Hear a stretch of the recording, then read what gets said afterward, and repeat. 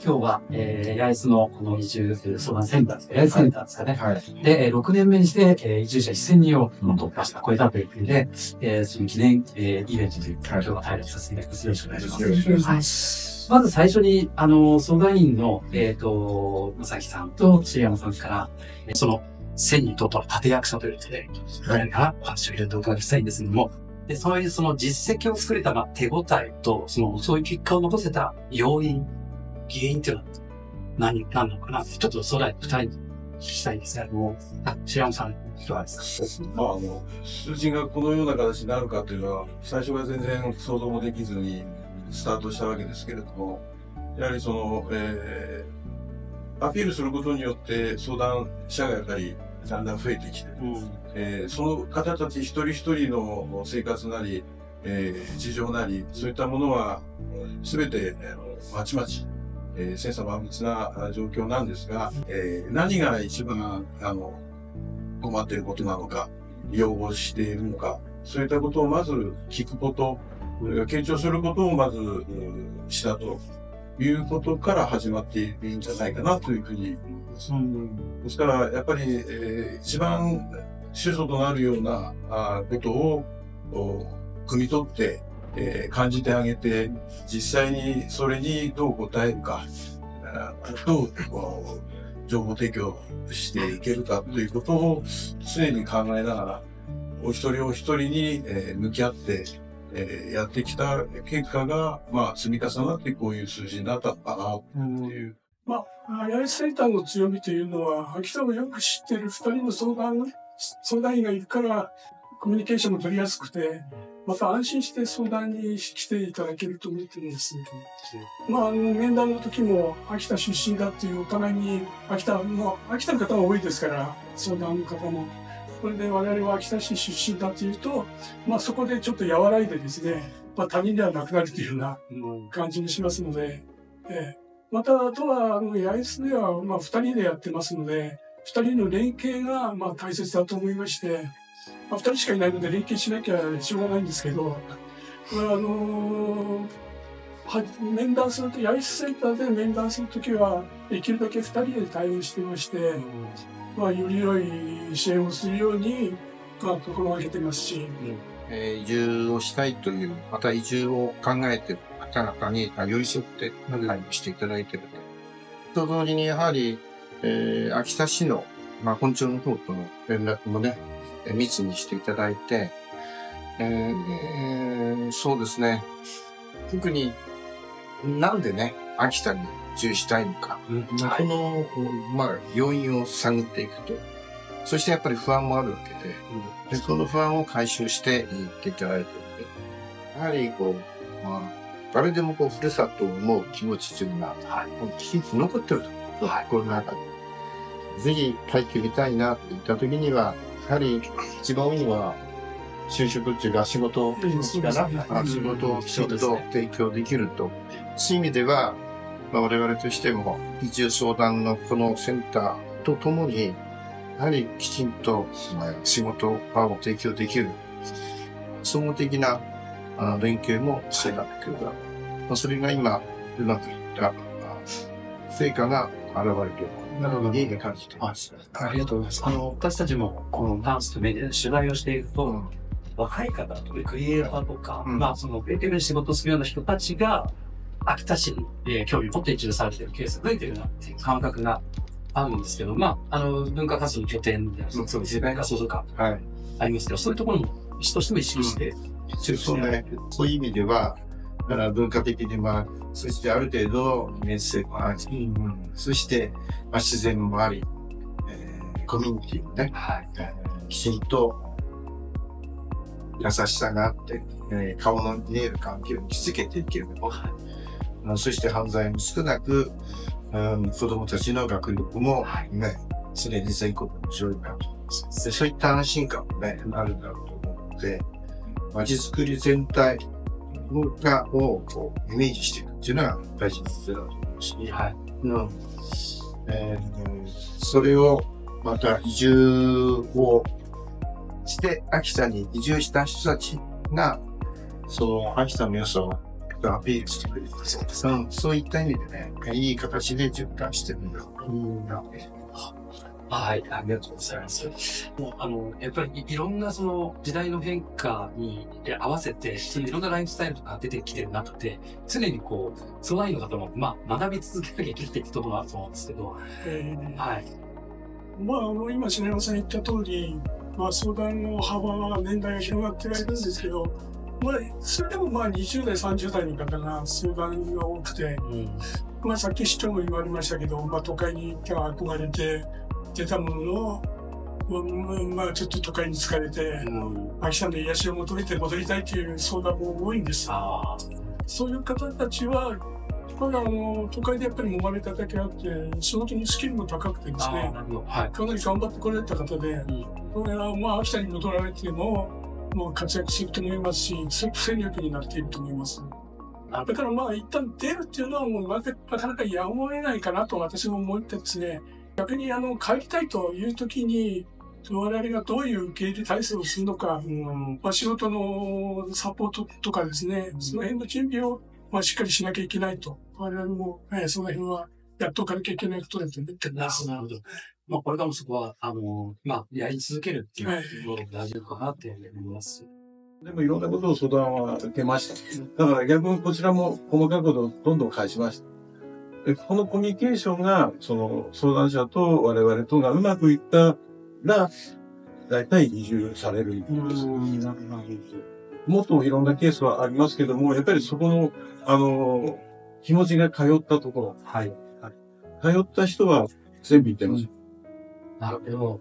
今、いわゆるそのミスマッチっていう炎上したりとか、いろんなこう、あの、プレイがあったりしますけれども、やっぱりそのコミュニケーションに妥協がないところで、で、しかもその、さっき、先ほど人生相談って話をさせていただきましたけども、やっぱり、あの、その、これからの人生に、まあ、起業って簡単に言うけれども、やっぱり東京で起業するのとまた、秋田に住むのと違うっていうところで、そこ相談員の二人が、しっかりそこに寄り添って、まあ、ある意味、言葉を、えー、隠さず、ちゃんとこう答えてるっていうところが大きいのかなって思いますよね。自分がやりたいこと、で、移住後こういう生活をしたいんだってことをしっかり伝えるってことは、まあ、これからあの移住を相談される方にも、本当にそのいいアドバイスになってるんじゃないか。それに対してしっかり答える皆さん相談の方がいらっしゃると。いや、すごいちょっと、ハンカチを用意したいと思います。ありがとうございます。他にこうセンターとして特徴的な取り組みって何かありますか？例えばその他の自治体とのさっき研究してるんだったりとか、うちはこう特化してやってますとか、そういうことでしたね。あの、台風の情報はいつもネットで調べたり、はいそれは随時えーどんなことをやってるのか、どういうセミナーを開いたのかとか、いったことは大体、あの、いつも毎日のように、あの、見て閲覧してるんですけれども、はい。あの、実はと、えっ、と、ここでやってる相談業務は、えーまあ、就労支援の仕事ですけれども、えー我々無料職業紹介の登録でやってるんですが、あの、実と私が少し経験した部分では、有料職業紹介事業者で一時えー仕事したことがありまして、はい実はそのやり方を有料でやってるものを今無料でやっているということが一つ他社、あ他の自治体とは違うことだとな思います。るほど。はい。ですから、あの、普通の、なんて言いますか、サービス的なものを、その、無料の中でやってますので、うん。相当幅が広いなと。さあ、ね、その、八重洲でやってるところもまた大きいかもしれないですよね。なるほど。ありがとうございます。えっ、と、時間もですね、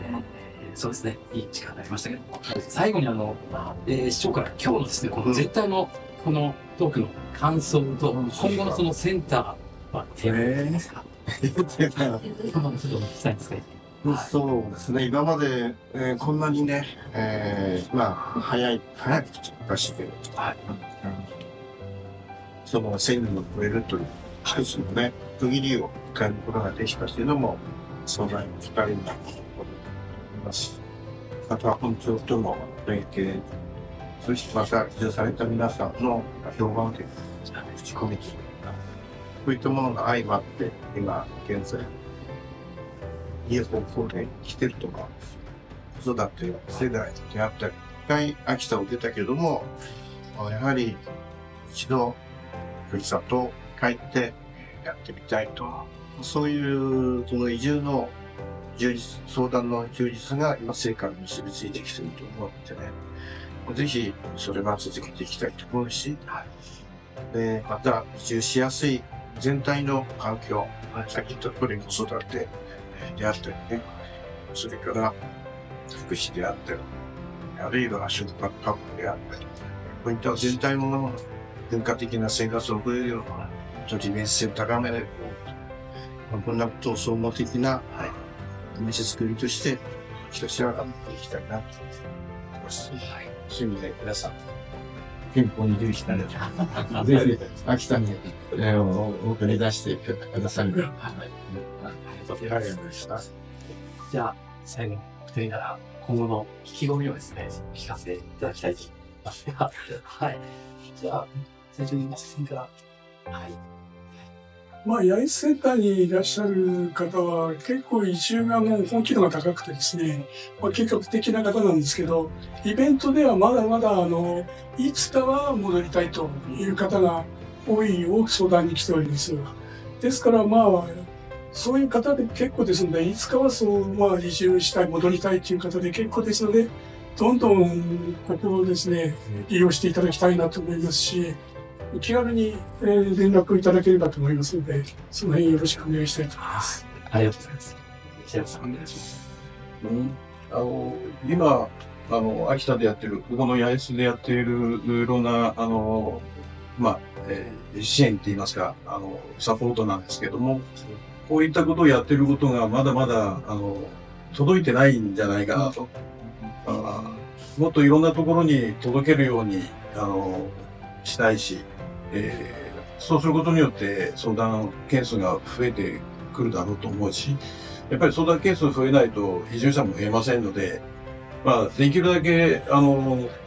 何台でも何でも構わないので、我々を利用してほしいなと。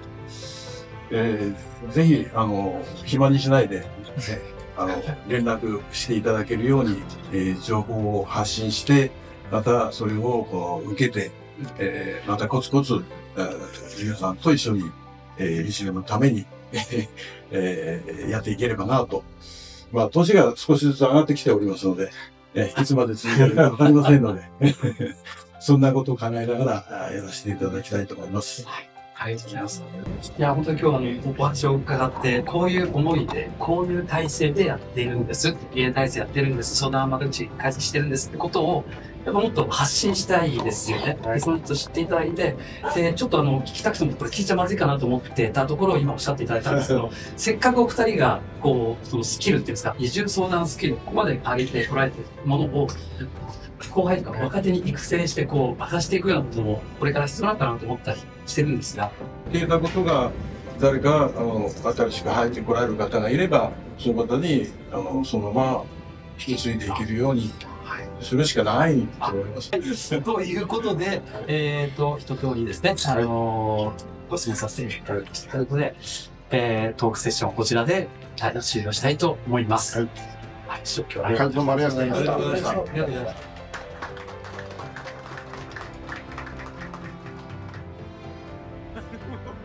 ありがとうございました。なんでだかな1万円ぐらいですよ。7000円ぐらいです。はい、帰ります。もう一枚行きます。